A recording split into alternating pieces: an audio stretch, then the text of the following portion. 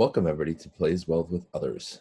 Hi, my name is Michael Malcolm Bjorklund. I am the District 2 Director of the Florida Scholastic Press Association and a Director at Large for JEA. As you notice on the top side, it says, please fill out a personality survey upon entering. Well, that's not really happening today. However, it is crucial that you fill out the survey of the link on the link that I provided, you can either download it, write it down on a piece of paper. You'll want to get your four digit code. Um, are four digit numbers that come attached with this program, with the session. So um, before you move on, it is crucial that you do that because the first part of this is predicated on the fact that you know what you are.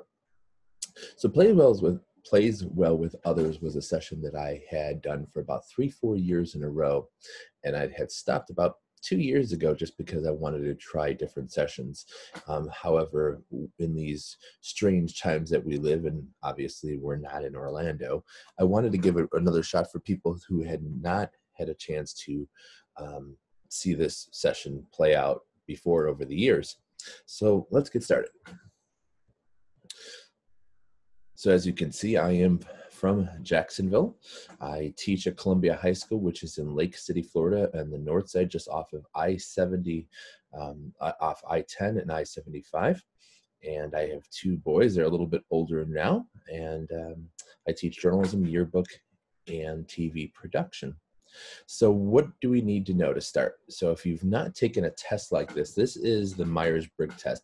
Your advisors over the years might have given you a color test where you're using Pantone or you're just using different colors to sort of indicate mood and emotion and where you stand with creativity and the Myers-Briggs test is something very similar, and you might have completed a Myers-Briggs test over the years. Um, they're supposed to be scientific in the sense that they shouldn't, your four digits that you get shouldn't change. However, I've taken this plenty times over the years and noticed some not inconsistencies, um, but just minor changes. So the purpose of the Myers-Briggs test indicator is to make the theory of psychological types understandable and useful in people's lives. Again, the test measures what it says it does in validity and produces the same results when given more than once. So here are the diagnosis of journalism types. All right. So first off, let's look at some of the data. And when we're looking at the data, we're looking at the numbers from the, the people that took the test to the people nationally and here in Florida. So when you looked at your four numbers okay? Um, when you took yours and you got done and you flipped the page over and you're like okay these are my four. So the isfj okay were about five um, about five percent and they were the most popular. In fact if you look at the isfj and you're one of those um, it was five percent of the study sample. However for the national study 17.91% were ISFJs. 30% of the Florida participants were the same. And then you go through and ESFJ were 12%, Florida 12, ISTJ was 10%, ENTJ 1%, and ENFP was 5%, right? And you can see the most popular is introverted and we can go through all of these in terms of what they mean in a few minutes so let's start taking a look at more of what they mean um, so e um, we know stands for extrovert. I stands for introvert. Um, hopefully, you obviously know what that means. You're extroverted, you're more outgoing, introverted, more internally. You have uh, S would be more feeling of, uh, of sense. Um, S is for sense, F is for feeling, and J is for judging. All right. And we can see where people stood with regards to both. Okay. So um, you can see a total on the one in the left column, you can see a total of E's and I's, which are the one of the other choices. You have S and N, um, and they've broken it down um, between total population, females and males, um, T and F, and then J and P. And so you can look at those numbers and see where do they stand in terms of um, total population, and then broke down by both men and women. Um, so if you're a reporter right now, a reporter, if you have one of these three numbers or three sets, ENTJ, ENFP, or ENTP, you are the reporter type. And I've illustrated this by Krusty the Clown. And uh, the reporter um, basically are strategic, they're organized and possess natural leadership qualities. They're master coordinators and effective give direction to groups. They understand complicated organizational um, situations and quick to develop intellectual uh, intellect situations. They're outspoken. They're able to um, they're outspoken in a sense that they can put their plans in place for improvement and they're decisive. Their key characteristics are extrovert, intuitive, thinking, and judging. I put Mr. Burns in here for the editor. Right now, we're looking at the editor here, the people that are behind the scenes. Um, technically, if you're a reporter, you have editors that are in charge of you. It could be your sports editor, your photo editor, it could be your editor in chief. These are people that manage the group. And when we look at them, they're obviously more analytical. Okay, these are also people that are a little bit more determined to push themselves, and that makes sense, right? Um, however, some editors can be a little bit more reserved, which you find to be a little bit different in that sense that you'd think an editor would be somebody more outgoing.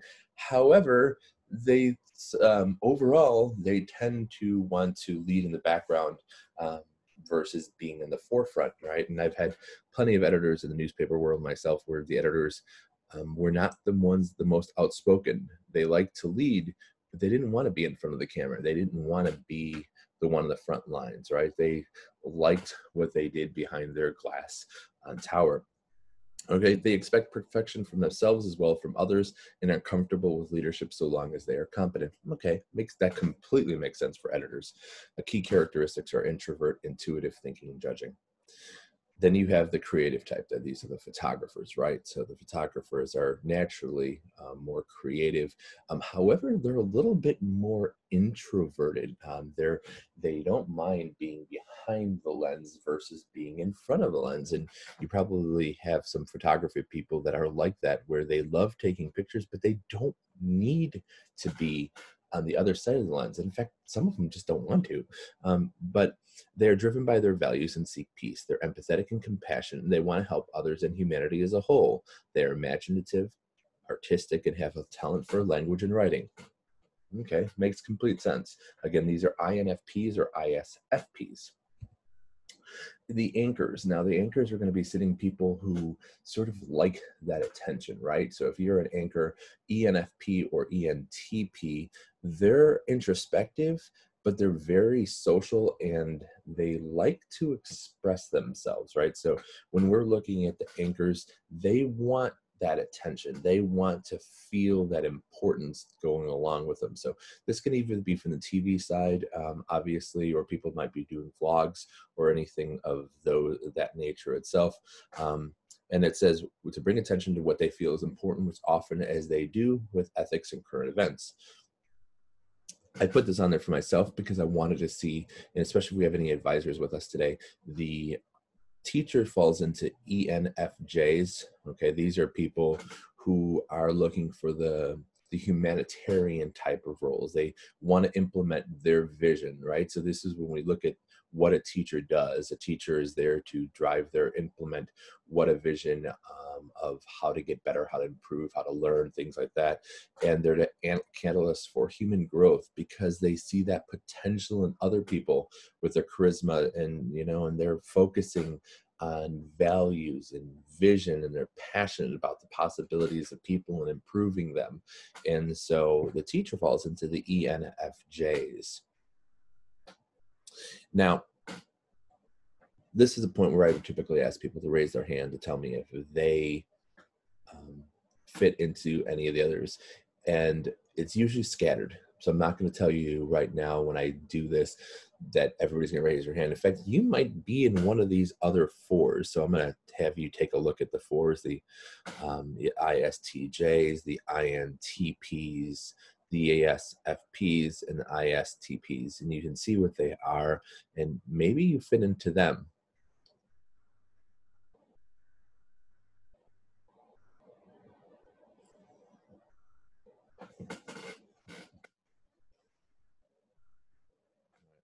So I'm going to um, introduce you to a former coworker, Lauren Trout. She works for Patch.com. We do have some patches um, in the state of Florida, more on the west coast near, I believe there might be some near Tampa. If you're over in that road, you might have a patch. Patch is uh, headquartered out in New York City. They were once owned by America Online way, way back in the day. They are no longer owned by AOL, but they are community based um, grassroots journalism. So it's all town based. You basically, with patch.com, you're going to get hyper local, um, hyper community based journalism versus big picture. They're going to be focusing on you and your community. And they're great entry points for journalists if you're looking for a career in journalism and there is a patch in your area this is a great place to start you're going to get a lot of experience from learning photography, learning how to work your beat, learning how to make connections. And Lauren Trout is one of the big people now um, nationally with regards to hiring. And she lives in Illinois. And she, in this clip, she talks to you about how important it is to get to know different people. Let's hope this works. The best thing you can do is to recognize each other's strengths and weaknesses and play off of them to better your publication or news website. For instance, at Patch, we have reporters who flourish reporting from the scene of a breaking news story. However, they don't do so well staying even tempered with commenters or social media fans at home. So we send them where they belong. We put them in the field. We enable them to provide us with live updates back home where an editor is manning the social media sites and also serving as a hub of information for readers and commenters alike. That way, readers get the best of both worlds. They get thorough, live, breaking updates from the scene of a story, coupled with an interactive, engaging exchange with an editor back home. Good luck. Worked with Lauren way back, way, way back in the day. It was probably like 2006, 2007, 2008. I was her designer. She was the editor of a, a small publication called the Frankfort Station. And her and I worked together and after we left and I went over to the Chicago Sun Times, she took over and started working at patch.com. And from that point, we've been good friends. And um, she hires a lot of people, usually rough, roughly about five to ten each month, and she has to go through that hiring process. So it's important to to see um, the different types of people and how they can connect. And and then how do we play well with others which is the biggest key no matter if you're in the newsroom um, right if you're in your school's newspaper or if you're in your school's yearbook or even tv production these are the types of people you're probably going to find. So my goal here is to give you some tips and tricks to work with different types of people I put this one a few years ago. This was after 2016 election, but it, I think it fits well now, just as it did then. And basically, it's talking about the opposition, right? It said many ways the election divided us, right? They, eh, with vastly different candidates representing vastly different people, we have a notion we have as a nation we have to come together united to heal these wounds. But how do we do that?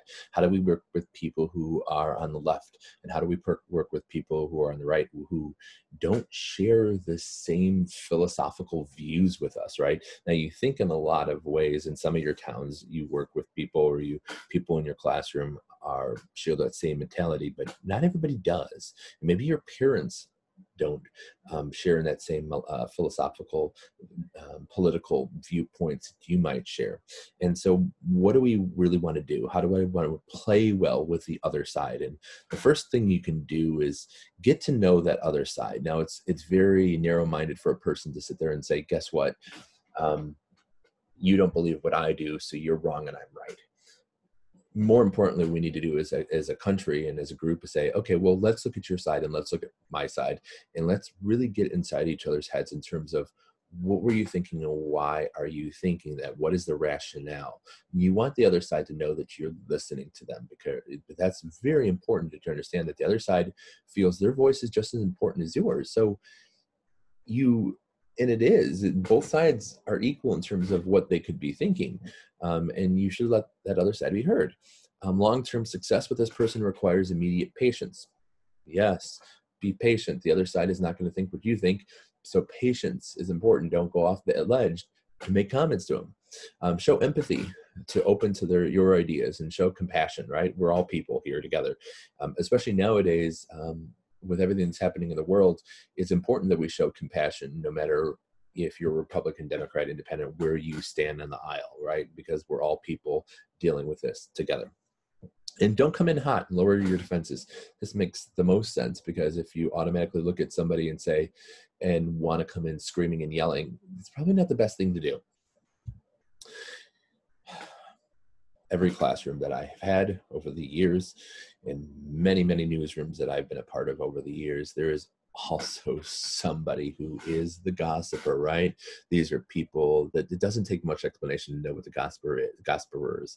This is a person that likes to talk, right? They love to have that information. And and you know, I was just watching a good episode of The Office when Michael Scott decided to be the gossiper and, and share the information because he wanted to be that person that everybody goes to and has that information and something to share. So, what are some of the strategies when I work with a gossiper? What should you do? Well, first off, tell the person directly what that impact they have on you.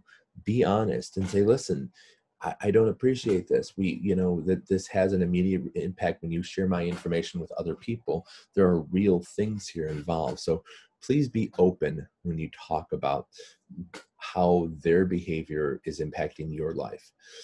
Number two, which makes complete sense, stay out of their conversations, avoid sharing details. If they don't know anything about you, they can't share it. If they make it up, that's a completely different story. So, most importantly, when it comes to people who like to gossip, don't share your information and don't get into that conversation. It is super easy to leave a conversation. You don't have to be a part of it because if you're sitting at that person and they're sharing that information, the gossiper wants that attention. Don't give it to them. Don't be part of that group. Last, let go of the idea that the gossip within the office can be controlled and focus on your own behavior. It can get out of control pretty quick. So it is important for you, if you're especially in your group, there's somebody who likes to gossip. Don't engage and you can control it. So just don't engage and walk away because once you find that nobody's paying attention to the person who likes to gossip, it's going to stop.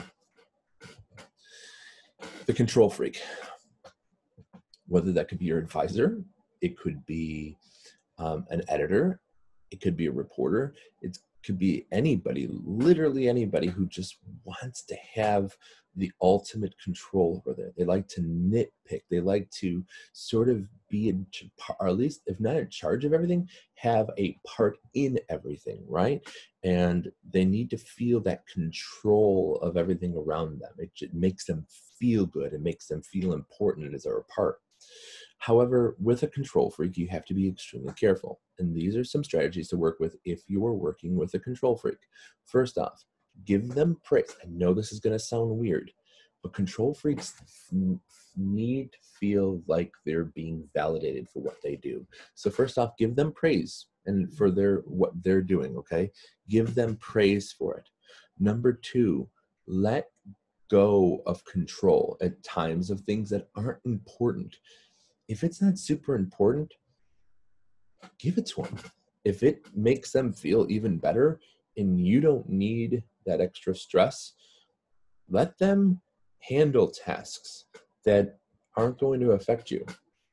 All right. And this is important too, because if they might want that control, and you might be just fighting over something because, well, just because you might not have a reason for why you, you know that's happening. So again, give it to them. It's easy, it's less stress on you.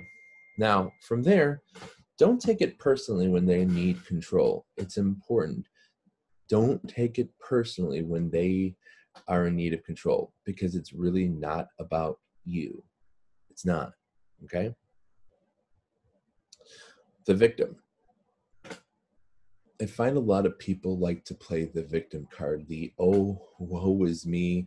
It's always happening to me. Um, they feel like everything's happening around them and they're always the victim. They're never in charge of their own situation. So the victim is the constant complainer and likes to draw people to their own problems or problems that they perceive to be there. Okay. Um, when things go wrong on a team project, when they were left out on important conversations, these are all important situations because the victim will play the part of feeling like it's never their fault right? They're always the victim. And so some things you can work with when you're talking about victims is number one try to exercise patience. You're going to hear that a lot from me that patience is super critical um, when dealing with some of these um, different type of personalities. So express exercise patience with them during conversations and recognize that they believe that they've been victimized. Number two try to point out evidence to the contrary when they begin complaining. Again if they're beginning to complain show them how what they're doing isn't they're not a victim. Show them how everything's falling in line and that might help the person feel better. Lastly maintain your own boundaries during conversations. Be very mindful that the victim will be looking to they're not looking at your angle they're going to be looking at them and why they're being victimized and you can get sucked into it right? So maintaining your own boundaries they might want to try saying how we're a group and look at us being victimized and then that just starts getting out of hand. So maintain your own boundaries during um, these conversations. Paranoid people people who are always scared people who are always nervous people who just for whatever reason, whether warranted or not, are just the sky is falling, right? All the time, the sky is falling. And sometimes the people who are paranoid, it's kind of fun to just watch them freak out all the time. However, this can be problematic because it can be shown in negative ways when you have people who are always paranoid because you're trying to consistently talk them off, off the ledge in ways. So, some strategies to work with people that are paranoid exercise what you say to them because in their mind, in their mind, those words can be interpreted in several different ways. The same can be said if you're trying to email them or text them. As we know, tone doesn't do well in text. What you say, if your words aren't specifically written in ways that they can understand or they're automatically going to get, let's be honest, you might make them more nervous. You might receive another text and another text and another phone call and another phone call right after that because they're paranoid. So please be careful on how your words are going to be interpreted. Number two, offer fact based and rational information to them don't try going well this may happen that may happen. While i heard that this might those things that we know when we're trying to spread rumors or things that we may know just because we think we're being helpful might not be helpful so much to people right? So offer things that are facts to people. And don't get caught up because they're uh, they're nervous they're paranoid. It's not your job to change their perspective it doesn't fall on your world. Okay, that's not your job. Uh, your job is to offer fact based situations to them. The next group is the passive aggressive ones, right? These are the people that of they're kind of phony. They're like, oh, thank you so much. And you're like, oh, did they say thank you? Did they mean it? No, passive aggressively, just, you know, trying to sort of coddle you a little bit. So they're hiding their true feelings by pretending everything's okay, when in their mind, they're really upset, right? And some people play the passive aggressive card better than others. Some people don't do a good job of hiding their true feelings. And so they may have a, high, a tendency to appear cool, calm, calm and collected. However, that's not what's going on inside of their heads.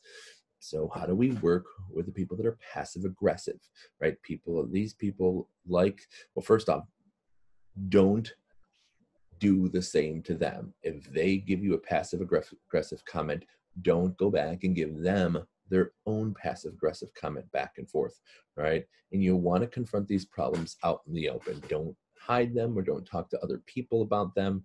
Really confront them out in the open when they're being passive aggressive. You want to understand some of it. But you'll want to do it in a way that's through direct communication, right? Because their negative behaviors might stem off of being able to share this with other people. And by using that direct communication, it can give you a greater impact on what your message is to them and why they're acting the way they're acting. And lastly, as we've seen several points before, express interest in who they are and in their feelings and create a safe space for them to talk to you. because if they don't feel like they're going to be talked to or validated let's be just perfectly clear here these are people they're passive aggressive they don't feel like their voice is heard so talk to them um, and and really feel make them feel like what they're saying has value. Flyers um, these are the people who can go from zero to 100 in a matter of mere seconds. Um, this is like everything's perfect. Everything's perfect in your in your newsroom and in your classroom. You're doing a spread you're doing a story no matter what everything's going well. And the next thing you know the phone rings or somebody else walks in or you hear some news that could be considered a little bit tough. Um, but they like to fly off the handle. These are those drama queens and drama kings and they sort of emotionally overreact to something right? And this is the oh you know uh, now now think of all the things we're going to have to do and they they fly off the handle and you're like this just happened. We haven't had time to process. We haven't had time to think about the steps in place that is going to make this a better situation for anybody right? So when types like this feel like their needs are not getting met they fly off the handles and they become very angry or dramatic and we've always we've always know what we the drama kings and drama kings what they're going to do. We know their personalities. So the first thing you can do with them is try to use praise for the value they bring to the office okay? So think about the things that they do those values that they do. Number two communicate how their behavior affects you and how you are impacted by their mood swings. And lastly remain calm when they fly off the handle and try to calm them down most importantly, calm them down. Because by them being calm, it brings the whole newsroom together, the whole classroom together. But when they're flying off the handle, yeah, it's a completely different room. It's very extremely different classroom we all know these people, right? These are the grumpy Gusses. These are the people who, no matter if you bring them donuts, bring them coffee, um, if everything's perfect, you might have the perfect spread, the perfect story. Everything in the world is perfect. It's blue skies. Everybody's awesome. Everybody's great. But to these people, they're grumpy. They're just cranky. And when they're cranky, it's exhausting for everybody to deal with somebody who's always grumpy and they crush your morale. The classroom morale is going to be crushed by people who are just routinely negative Nellies, right? They're, they're the grumpy donkey namesake or the Eeyores, okay? And they're doomed to failure. And suggestions are just new opportunities for defeat. Nothing's ever going to go right. And for these people, you'll want to provide constructive suggestions, right? If they're not, if they're complaining about something, say, well, we can solve that by. You want to give them logical, fact based information that's going to say, okay, if this was going wrong, how can we solve that? How can we fix it? And often ways there's ways to fix why they're so grumpy. Now they just might just complain to complain. However, by them sort of taking by taking some of that away, you might find some of your morale, and maybe they'll even recognize like, oh, right, because you want to confront them in private because grumpy gusses are going to take this more emotionally, right? But you're going to want to talk to them in private. Um, and so they might not even realize they complain so much. I've known people over the years like really? I, am a complainer? I didn't know that. I never even thought i was a person that liked to complain. Obviously some people just don't know. They might not think that they're complaining too much and realistically they are. And so it's good in private in private not in the open to talk to them about how they are acting and how they're sort of bringing everybody down. And like I said, it might they might not even know it. These are the egomaniacs. These are people that the egomaniacs just love attention, right? They um they they it is really all on them. They always know what is best and they ignore even in the nicest advice or suggestions. Um, in fact, they consider themselves lucky that if you work have the opportunity to work with them right? These might be your your superstar players in your rooms that have just a little bit too much. They might have been given a little bit too much and they have an ego about themselves. They, they really feel good about themselves. Tips for working with an egomaniac. First off an egomaniac and another egomaniac don't go together too well. So check your own ego at the door. Have a head to head with them is usually not the worth the time and energy. An egomaniac is an egomaniac. Be assertive. Don't let the bully win. Big thing with working with egomaniacs is they are the bullies in the sense of they want to feel like they are in control of everything. Lastly, distance yourself. Deal with them in small amounts and then walk away. You don't have to spend all day with them small amounts of the egomaniacs. Walk away, live your life. You don't have to be part of their world all the time. And probably for your own sanity, you're not. Um, there is a YouTube link here that is placed. I am not going to um, show you the video for interest of this is a computer based. This is Ron White. He teaches um, at Oak Ridge High School um, in Orlando.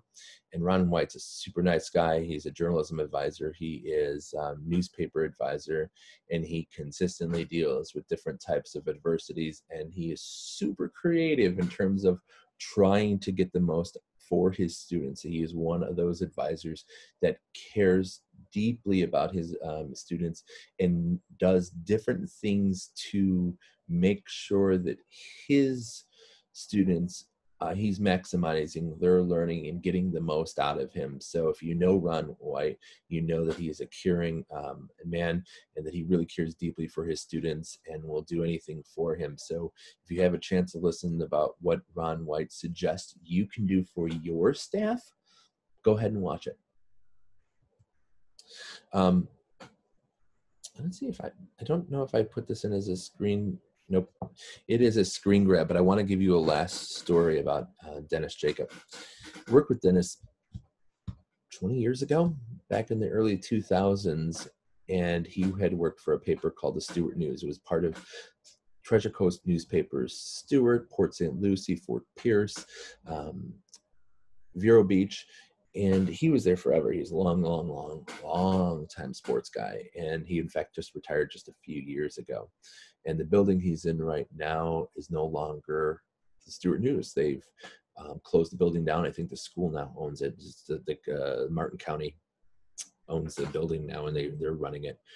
But the thing, big thing about Dennis is that he let people because he's so hardworking. You know, you know, it, he sort of doesn't sort of not assertive in some way. So there was once when I was there, a design editor, and she didn't even know his name and he felt terrible. He's like she'd go to him hey you and like there was no personality con- uh, connection there and dennis just would always get so upset because he never felt like his work was being validated. Remember if you if you have somebody that you work with who's been there forever you might have um, a senior in your class and you're a sophomore and you're like and, and that student doesn't feel like her, her um, voice is being heard it, the worst you can do for to somebody is not appreciate them for what they bring to the table. And Dennis never felt like that. And the leaders above him, the editors never made him feel like he was worth anything. And it's always important when you're talking with playing well with others is yeah, we're dealing with the drama queens and kings and we're dealing with people who fly off the handles, but we're all people. And most importantly, the biggest thing I could tell you in your terms of playing well with others is know the people you're working with have those chances to come talk together right? Have your ch- chances where maybe every monday you're bringing food and you're just having food and drinks or maybe um, you're you know you're doing things and you're having roundtable discussions or maybe you're having you know weekly meetings or monthly meetings with on a one-on-one basis with students to get a sort of wellness check to see how people are doing.